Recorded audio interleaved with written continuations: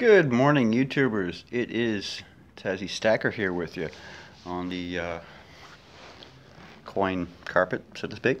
So the other day I showed you, the other day I showed you this, which is the 1948 uh, Cinco Peso. These are 90% silver, and they're just a really, really nice coin.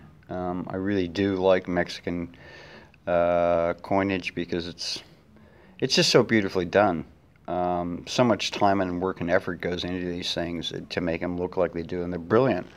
So yesterday, its big brother arrived, 47. So they made these, the Cinco Pesos, uh, 1947, 1948, and they are 90% silver, which is pretty cool. Um, you've seen this, this is a 49 um, Onza. This is 925. Well, okay, technically it is still an ounce of pure silver, but it is marked 925. Um, in my last video, uh, it's just people getting to commenting. Some people consider these a round. Some people consider these a coin. Uh, others um, a, a medal, what have you. Um, it all has to do with the technicality of, the word peso. And peso in Old Spanish, as was pointed out on the page, uh, is an old term for weight. Okay, that's correct. However, the use of the word peso uh, as a denomination has been around for quite a long time too. So, you know, um, it's it's up to the individual that they consider that a round or a coin or a bullion or what have you. But you know, hey, it's all good.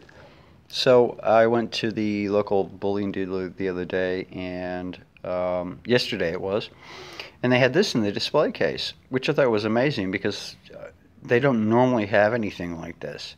And I said, "How much is that?" You know, and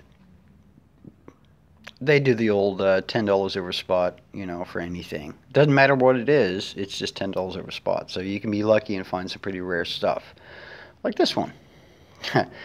so I was quite pleased by that. Um, you can't really see it in this light, but it has a lot of mint luster. It's actually in really good nick, and I'm quite happy to add this to my collection. Um, and so when I pointed out, I said. Um, I said, you realize it's actually stamped 925. So, you know, ever the salesperson, she shifted gears and said, oh, okay, that'll be $24. So we I'll have that. Thank you very much.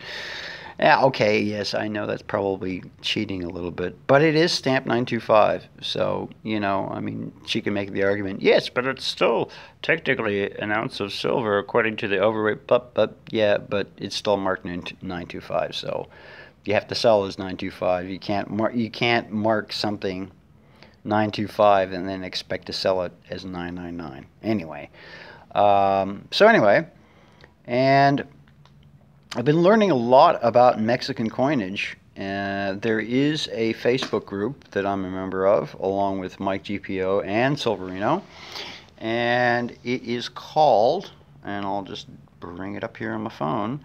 Mexican numismatics, coins, medals, and rounds. Uh, it's a closed group, so you got to have permission to do so. Um, I would suggest contacting Silverino and asking me if you can join. And if you're into Mexican uh, numismatics, coins, uh, medals, rounds, and stuff, it's a great group. A lot of good information. Um, like, for example, I learned last night that this is a Type 4 because of the way that the scale points between the uh, O and the N and because on the front the spacing uh, for I think it's between Mondella and D the spacing is is wider than the rest of it which I didn't know. I thought that was pretty amazing. Um, I also learned that these uh, Cinco Pesos um, were used by the Texas Rangers to make um, homemade badges out of because uh, that was before the badges were issued. So they would take these coins and they'd, you know, file the face and the obverse off, and then they would carve a Texas Ranger badge out of that. Again, uh, you know, it's it's really cool to learn all this stuff. So anyway. Um, thanks all very much. I've waffled on far too long, and I will talk to you guys later. And uh, have a good day. Thanks. Bye.